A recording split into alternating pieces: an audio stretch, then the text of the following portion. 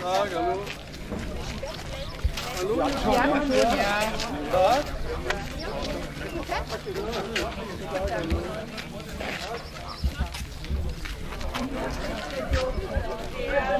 fleißige Straßenbauer sehen, der muss zu uns nach Neindorf gehen.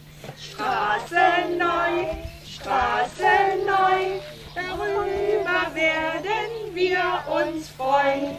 Straße neu, Straße neu, darüber werden wir uns freuen.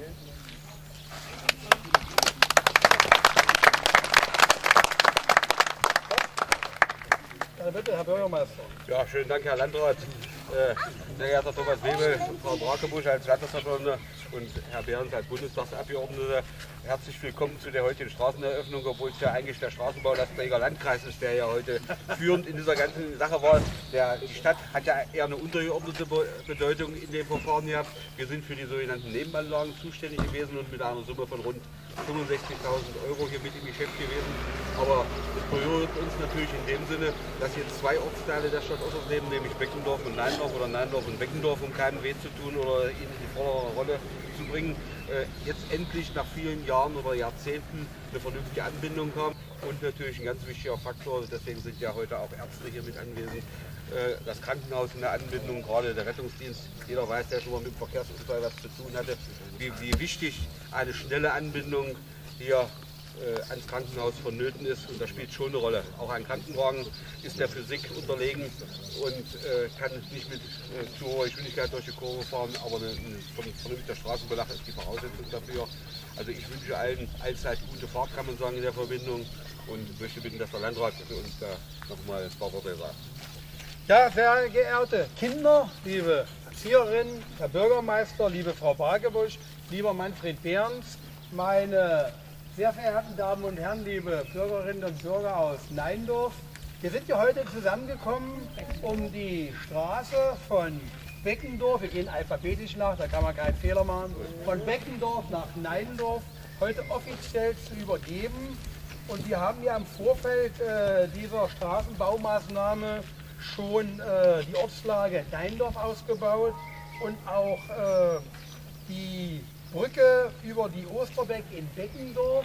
Und ich denke, in diesem Jahr haben wir diese Straße grundhaft neu auf, aufgebaut auf einer Länge von knapp 4 Kilometern, 3,9 Kilometer für insgesamt 1,3 Millionen Euro, wovon 80 Prozent aus dem Entflechtungsgesetz stammen. Und da sage ich herzlichen Dank an den Minister Karl-Heinz Dehre, der natürlich diese Mittel uns zur Verfügung gestellt hat. Ich soll den Karl-Heinz entschuldigen.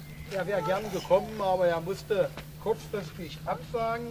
Und natürlich die 20 Prozent Eigenmittel, die wir als Landkreis aufzubringen haben. Da muss ich natürlich Dank sagen an den Ausschussvorsitzenden für Wirtschaft und Umwelt, Manfred Behrens, und auch an das Kreistagsmitglied Gabi Brakebusch, die dem Vorschlag der Verwaltung gefolgt sind, hier diese Mittel bereitzustellen.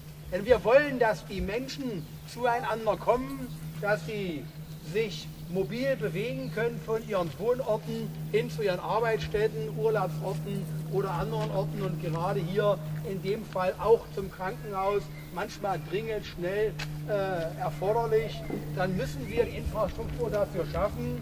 Wir sind bereit, große Summen dafür auszugeben, um diesen Straßenkörper, der teilweise noch in einem bedauerlichen Zustand ist, so zu ertüchtigen, dass die Menschen möglichst gefahrfrei auf diesen Straßen fahren können. Und wir haben ja diese Straße auf sechs Meter ausgebaut. Im Herbst wird die Bepflanzung erfolgen als Allee und wir werden auch die Kastanienallee hier in Neindorf erneuern, sodass sich die nächste Generation oder die nächsten Generationen an großen Bäumen und dieser Allee erfreuen können. Das werden dann nicht mehr wir sein in großer Anzahl, das sind unsere Jüngsten heute, die uns natürlich erfreut haben mit ihrem Programm hier an dieser Stelle. Wir wollen, dass diese Straße den Menschen Freude bereitet. Deshalb haben wir sie ausgebaut. Und natürlich wünschen wir allzeit gute Fahrt. Und nun brauche ich mal einen von den kleinen Damen da hinten. Weil die Frauen sind diejenigen, die die Leistungsträger unserer Gesellschaft in Zukunft sein sollen. Und deshalb wünsche ich mir, dass eine junge Dame hier durchschreitet. Mach das mal. So, komm von hier, von hier Seite, von hier Seite. So. so, wir gehen jetzt die Straße frei und wünschen allzeit gute und unfallfreie Fahrt. Schnell durch.